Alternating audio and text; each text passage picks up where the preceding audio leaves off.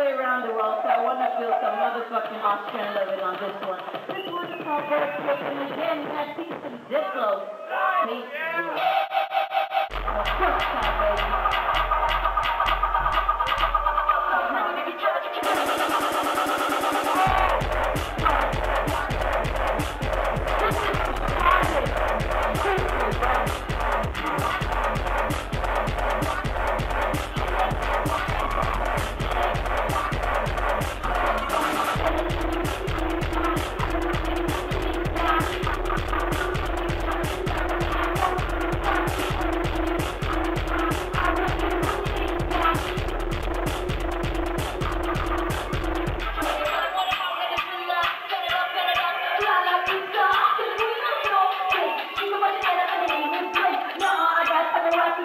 Bang,